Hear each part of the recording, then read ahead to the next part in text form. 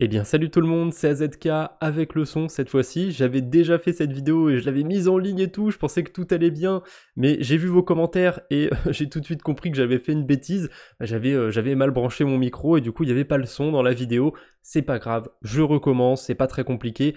On va parler un petit peu de D-Mail aujourd'hui parce qu'il y a un airdrop qui est tombé. Bon, déjà, pour aller réclamer euh, l'airdrop, si vous êtes éligible, vous avez le lien dans la description. C'est tout con, hein, c'est comme sur tous les sites d'airdrop. Vous connectez votre wallet, vous cliquez sur le bouton Check Eligibility. Si vous êtes éligible, vous allez pouvoir claim le token.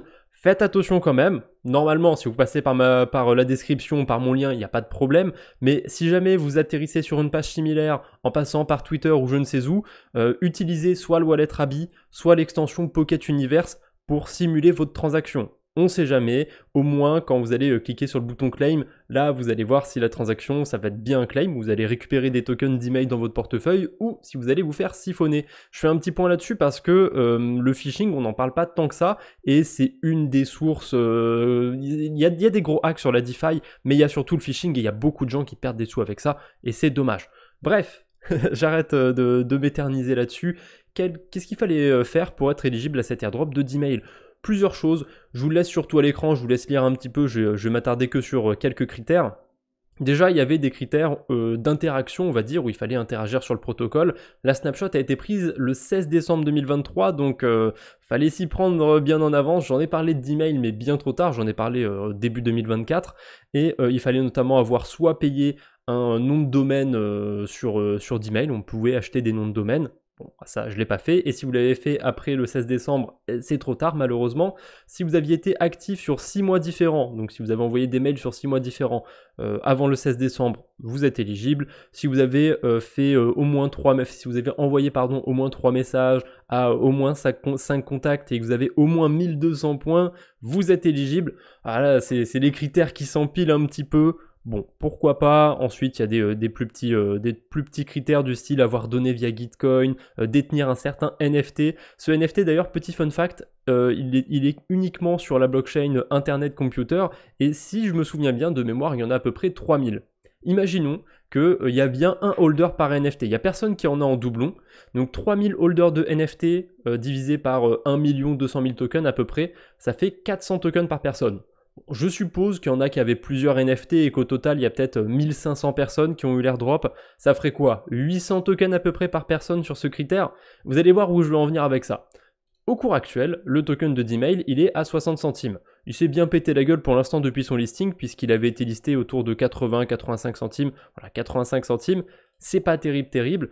Euh, mais du coup, on va prendre le cours actuel et on pourrait même prendre le cours euh, au moment où le token a été lancé à 80 centimes. Vous savez quoi, on va même pousser le vis. On va prendre le moment où il était à 80 centimes.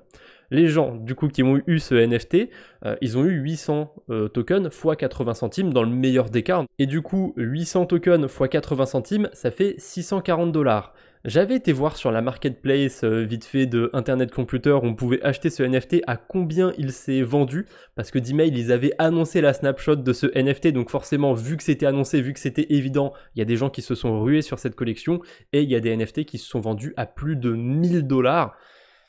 Ah, ouf, ça, pique pour récupérer un airdrop qui vaut à peine la moitié. Donc c'est un petit rappel pour vous dire de faire attention avec les airdrops. C'est pas le, c'est, pas les premiers à faire ça. Il y a déjà eu d'autres airdrops dans le passé euh, qui sont basés sur euh, le fait de détenir un NFT bien particulier d'une collection un peu rare. Faites attention, n'allez pas claquer 1000 euh, balles, 10 000 balles ou je sais pas combien d'argent dans des NFT, même quelques centimes de euh, quelques centimes, quelques centaines de dollars, quelques centimes ça à la limite vous pouvez, mais quelques centaines de dollars pour spéculer sur des airdrops, ça me paraît pas être une bonne idée personnellement. Euh, ensuite, à part ça, voilà, l'airdrop il s'est bien passé, c'est super. Va y avoir un deuxième airdrop qui va cette fois-ci se concentrer sur le système de points. Vous connaissez déjà mon avis avec les points, j'aime pas ça, blablabla. En plus, euh, le deuxième airdrop, il sera encore plus petit. Alors ils vont rajouter tous les tokens qui n'ont pas été claim sur le premier airdrop au deuxième, donc il y en aura peut-être un peu plus que ça, mais je m'attends pas à grand chose honnêtement. Euh, l'airdrop, il va tomber dans 4 à 6 mois. Ça laisse beaucoup de temps pour les gens d'aller farmer des points et euh, je pense qu'il y en a qui ont vu les il y a, plein de, gens qui ont fait des threads autour de 10 mails parce que on peut faire des transactions sur certains layers tout pas cher avec 10 mails quand on veut envoyer un mail en fait on fait une transaction pour, euh, pour valider l'envoi si vous voulez. Et euh, je pense qu'il y a plein de gens qui ont farmé des points et je suis pas convaincu que ce soit très intéressant d'aller farmer des points. Vous n'allez pas récupérer grand chose sur l'airdrop à la limite, dans l'optique de vouloir farmer un petit peu des layer 2, je sais qu'on a Linea, on a ZK-Sync, on a Manta, on a, plein de blockchains du côté de d'email. À part dans cette optique d'aller farmer des layer 2 ou d'utiliser vraiment d'email pour ce que c'est, euh, je vous déconseille d'aller euh, farmer euh, l'airdrop de d'email parce que trop de monde va le farmer, ou même s'il n'y a pas tant de monde que ça, il n'y aura pas beaucoup de récompenses, à mon avis ça vaut pas le coup. Après on va voir comment va se porter le token. Euh, pour l'instant, je ne sais pas combien il y a de tokens en circulation, mais je suppose que c'est 10% du maximum. Au maximum il y aura 200 millions de tokens.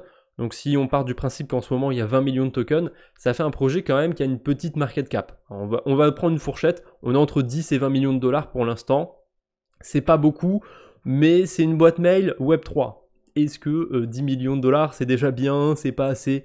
Vous faites votre propre avis si vous êtes éligible pour vendre ou pas, mais personnellement, je n'ai pas, pas un grand avis là-dessus. Je ne sais pas si c'est beaucoup, 10 millions, 20 millions pour ce que c'est. En tout cas, vous ne pouvez pas vendre le token, en tout cas pas pour l'instant. On ne peut pas le vendre sur des DEX. Il faut forcément l'envoyer sur une plateforme centralisée.